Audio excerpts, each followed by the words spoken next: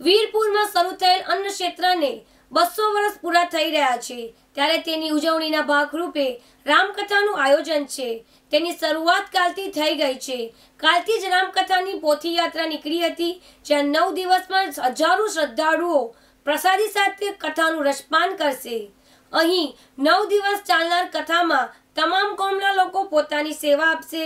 અહીં અન્ન ક્ષેત્રમાં મુસ્લિમ લોકો પણ સેવા આપનાર છે. વિશ્વભરમાં ભૂખ્યાને ભોજનની વાત આવે તો સૌરાષ્ટ્રના વીરપુરનું નામ સામે આવે. આ વીરપુરમાં આજથી બસો વર્ષ પહેલાં પૂજ્ય જલારામ બાપા દ્વારા સદાવ્રત શરૂ કરવામાં આવેલ હતું. અને તે સદાવ્રતની જ્યોત આજે પણ અવિરત ચાલી રહી છે. સાથે સાથે વીસ વર્ષ પહેલાં મંદિર દ્વારા અહીં કોઈ પણ જાતની ભેટ સોગાત લેવાનું બંધ કરવામાં આવેલ. અને આમ છતાં આજે પણ આ સદાવત અવિરતપણે ચાલુ છે.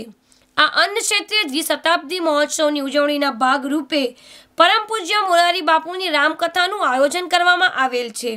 આ કથા તારીખ અઢાર એક બે હજાર વીસથી શરૂ થઈને છવ્વીસ એક સુધી ચાલનાર છે. નવ દિવસ ચાલનાર રામકથામાં હજારો લોકો લાભ લઈ રહ્યા છે. અહીં આવનાર તમામ ભક્તોને પ્રસાદનો લાભ લેશે. જલારામ બાપા દ્વારા શરૂ થયેલ આ અન્ન ક્ષેત્રની ઉજવણીમાં દેશ વિદેશથી લોકો આવીને લાભ લેશે. કાલે આ રામકથાની શરૂઆત પોથી યાત્રાથી કરવામાં આવી હતી, જેમાં મોટી સંખ્યામાં જલારામ અને રામ ભક્તો ઉમટી પડ્યા હતા. પોથી યાત્રા વીરપુરના મુખ્ય માર્ગ ઉપર ફરી હતી અને લોકોએ પોથી યાત્રામાં રાસ, ગરબા અને જલારામ બાપાના ભજનો સાથે ઉત્સવથી ઉજવણી કરતા પોથી યાત્રા કરી હતી.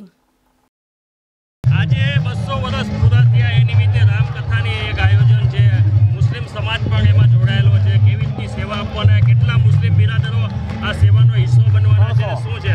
સાડા પાંચસો માણસો અમારે મુસ્લિમ સમાજના માણસો બધા હિસ્સામાં છે અને અમને બધાને સાડા પાંચસો કાર્ડ આપી દીધા. આઠ દિવસ લગન અમારે સેવા આપવાની છે ધન મનથી ધનથી.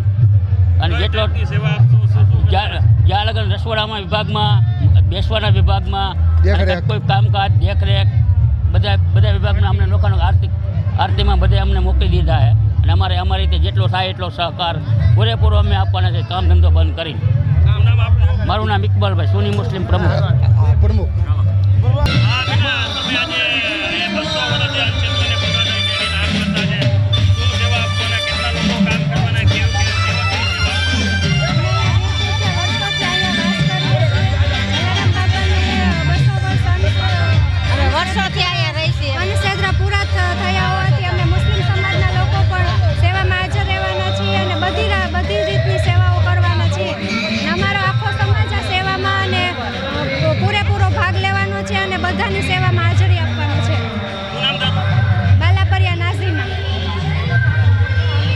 દેને ટુકડો ભલા દેને કો હરિનામ.